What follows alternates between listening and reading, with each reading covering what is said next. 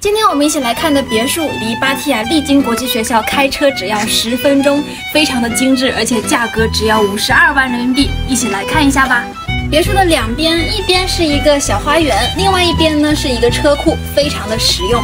小东东的户型非常的精致，两房两卫的，但是它的挑高非常的高，所以通风采光都很不错。穿过刚才的客厅呢，我们就来到了餐厅，还有一个开放式的厨房，旁边呢都是有推拉门直接到院子的。我的右手边呢是有一个公共的卫生间，厨房有两个，除了这边开放式的，这边呢还有一个封闭式的泰式厨房，它有两扇门，